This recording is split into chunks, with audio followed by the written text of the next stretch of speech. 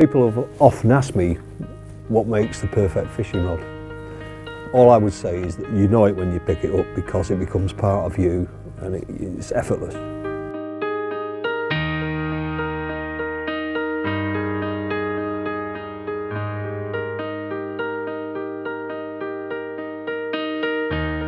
Okay guys, what I'm doing today is I'm, uh, I'm on a fishing trip actually to Bluebell Lakes uh, near Peterborough and as a favour to the guys from Sonik, there's some friends of mine, they've asked me to try out the new Gravity X uh, carp rods that they've got.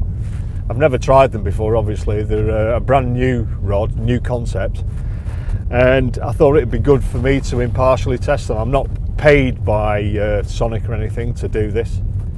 They just said, would I do it? Because I've got some history as, as a bit of a caster. Uh, I've been casting most of my life, you know, as you know. But uh, they said, would I put them through the paces and give an honest, honest appraisal of the rod? So I said, yeah, why not? I'll give them a good thrashing and see what happens, eh?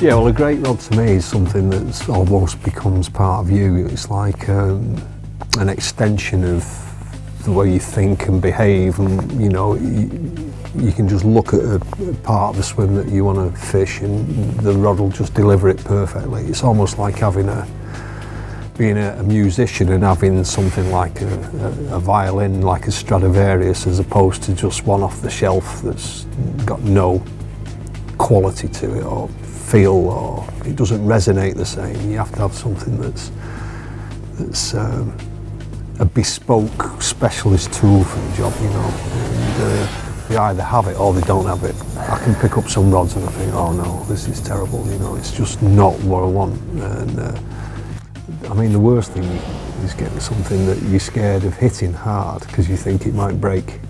To me, that's just a waste of time. If you're spending a lot of money and you've got to that stage where you've worked your way through all the cheaper rods and then you get into the high-end gear and I still see people that are terrified of blowing rods up and, and I think that's a disaster and there is some rods that do blow up you know if you, if you make the wrong choices so I want something that's that's uh, Premier League really you know it's a very individualistic thing you know but uh, there's more crap rods out there than there are good ones, I think. So when you actually find something that's, that's of that calibre, you know it straight away. As soon as you pick it up, you think, oh yeah, this is right, you know.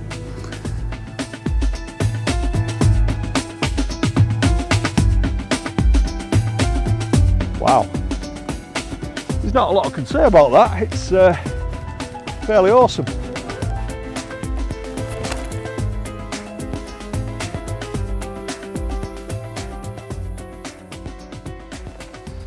Right, there we go. Well, I've tried all three of the Gravity X rods. I've tried the, this is the three and a half. I've tried the uh, three and a quarter and the three pound test curve. I've got to say they're all very, very good rods. The three and a half, I can say that I'm doing over 200 yards with it. It's uh, absolutely brilliant for the range.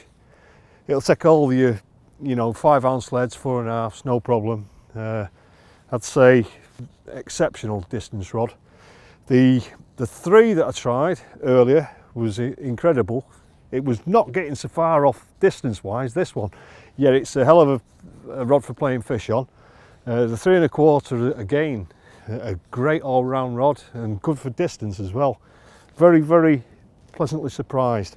Uh, the, the, the three I was using three and a half ounces of lead and the three and a quarter I think had a four on and they've all done a hell of a distance so uh, pretty impressed to say the least.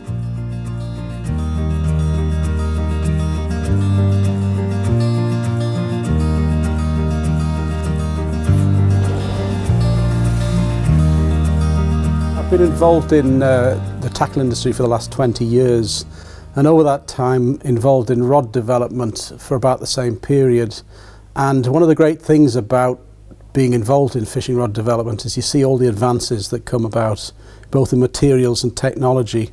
And in that time, um, the di difference in rods is amazing from what they used to be 20 years ago to what you can now get. With the new Gravity X rods that we've just launched onto the market, they really are a step change different to anything that I've witnessed before in terms of their lightness, their slimness, and their sheer performance. And that's really brought about by the particular material that we've managed to get to use to make the blanks. Now this material um, is not developed for fishing rods. All the, all the best carbon fibres are developed for the aerospace industry. And um, we are using material called nano alloy, which has been developed and patented by a company in Japan called Toray Carbon Fibres, um, presumably to make lighter and stronger aircraft. All the Airbuses are using it. Applied to a fishing rod, what it allows us to do is to make a rod that's a lot slimmer. It's incredibly light, but it's got a steeliness to it and a really fast response. In other words, the tip recovers really quickly when you cast. And everyone, bar none, who's used it, who's tested it, Frank testing it today, has been amazed with the performance. Because when you first pick the rod up, it feels really slim and really light. But when you then cast with it, it really does um, achieve some amazing things. So we're really excited about it and we think it's going to be um, really great for Sonik brand.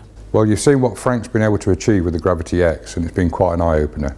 We've had several days across the country where normal customers from several shops have taken these rods out and improve their casts.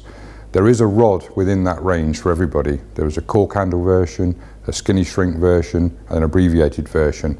But what I think strikes home with me in particular is having sold rods for a living, having worked in the industry for many, many years and possibly tried literally every rod that's ever been made, is the lightness, the slimness, and more importantly, the price. I think if there's one thing that sort of really rings home today, it's that Sonik as a company, as a brand, have really produced top quality fishing equipment at a very realistic price.